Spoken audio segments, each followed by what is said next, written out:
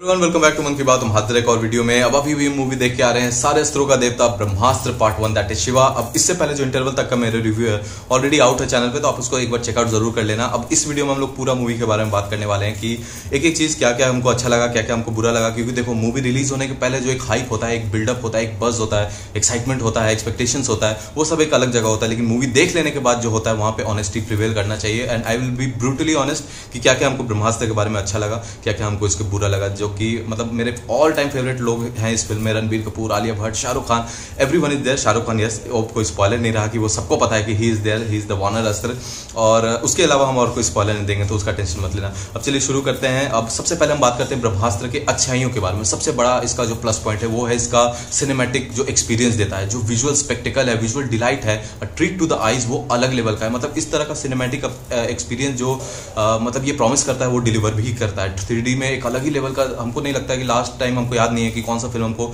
इस तरह का एक्सपीरियंस दिया था पूरे पूरे मूवी में।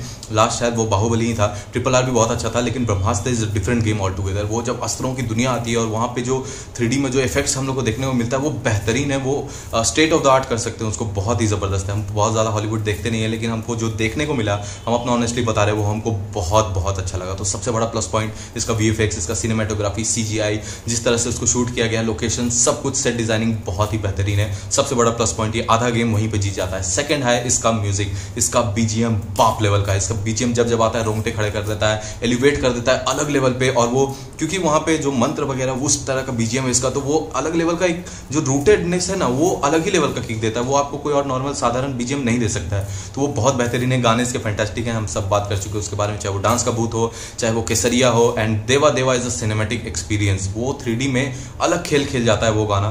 तो वहाँ पर आपका आधा पैसा तो यहीं पे वसूल हो जाता है। उसके बाद जो एक्शन सीक्वेंसेज हैं, वो बहुत बेहतरीन है। और मतलब हम जो बोल रहे थे आपको फाइट सीक्वेंसेज में, वो किक आना चाहिए। वो थोड़ा सा हम उसके बारे में बात करेंगे बाद में भी, लेकिन ऑन द होल अगर बात करें तो वो बहुत बेहतरीन किक देने में कामयाब हो जाता है। परफॉर्मेंसेज बहुत अच्छे हैं। सबके सबके सब मंजे हुए कलाकार हैं। सबके सब बेहतरीन एक्टर्स हैं। तो काम सबका आपको मतलब बहुत अच्छा ही देखने को मिलेगा। उसमें कहीं भी कोई भी कमी नहीं आती है। एक तो कमी है जो कि हम आगे बुराइयों में बात करेंगे उसके बारे में।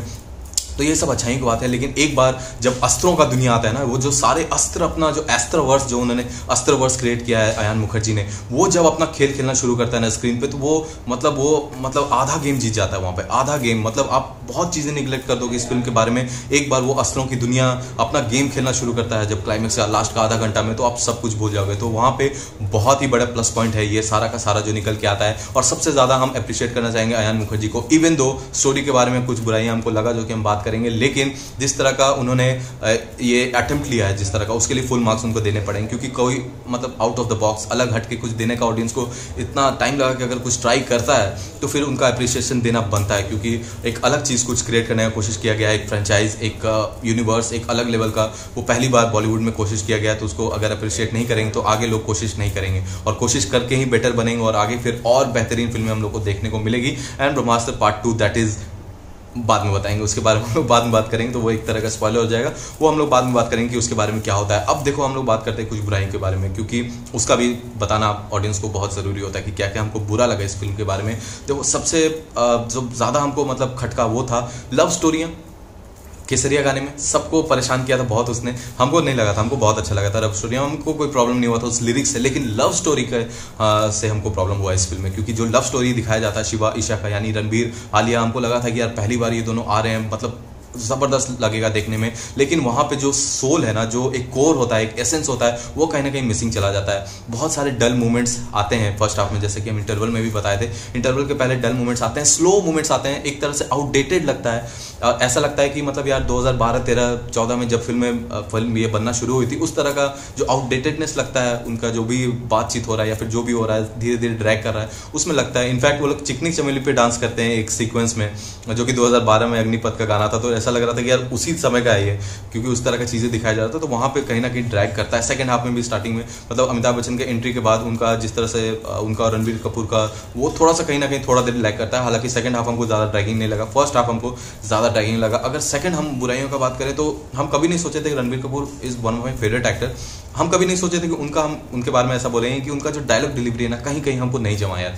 ऑनेस्टली बता रहे हैं, हमको नहीं जमा कहीं कहीं, लेकिन बाकी परफॉर्मेंस फ्लॉलेस है, वो जैसा लगा है, वो बहुत ही बेहतरीन तरीके से उन्होंने अपने तरफ़ से कोशिश किया, लेकिन कहीं कहीं हमको जो डायलॉग है, वो अच्छा नहीं लगा। मतलब हमको जमा नहीं, मज़ा नहीं आया उतना। लेकिन हाँ जिस तरह का उनका एलिवेशन है, जिस तरह का एक्शन सीक्वेंस में काफ़ी कन्विंसिंग लगे ये बोलना ज़रूरी है। लेकिन फिर भी एक और चीज़ हमको मिसिंग लगा, वो था हीरोइज्म शिवा का जिस तरह का कैरेक्टर है आ, मतलब जो हम कोई स्पॉइलर नहीं दे रहे ट्रेलर में जितना हम लोगों को पता है कि शिवा पहले अपनी शक्तियों से अनजान रहता है उसके बाद धीरे धीरे उसको पता चलता है। उसके बाद हमको लगा था कि एक मोमेंट ऐसा आना चाहिए था क्लाइमेक्स में जब वो पीक कर जाता। और वहाँ पर ऐसा लगता है कि भैया अब तो ये फाड़ देगा सबको और फाड़ रहा है लिटरली वो कहीं ना कहीं बीच बीच में आते हैं कुछ मोमेंट्स लेकिन वो फिर मिसिंग चले जाते हैं एक तरह से। तो वो भी हमको थोड़ा सा लगा डाउन डाउनफॉल उसका हमको लगा। और शाहरुख खान का कैमियो जैसे कि हम आपको बताया कि वो कोई स्पॉयलर नहीं है कि आप सबको पता है कि वो उनका कैमियो है, लेकिन उनका कैमियो अच्छा है। हम ये नहीं बोल रहे कि अच्छा नहीं है, लेकिन ऐसा बिग ऐसा कि ना, वो किक हमको कम लगा थोड़ा सा। वो हमको लगा कि यार मतलब ऐसा कैमियो होना चाहिए कि साला फट जाए थिएटर तो वो चीज़ तालियाँ सीटियाँ बजी हैं बहुत लगी हैं लेकिन एज अ फ़ैन हमको ना थोड़ा सा लगा कि और अच्छे तरीके से उसका प्रेजेंटेशन होना चाहिए था और, और मज़ा आना चाहिए था बस हमको ऐसा लगा।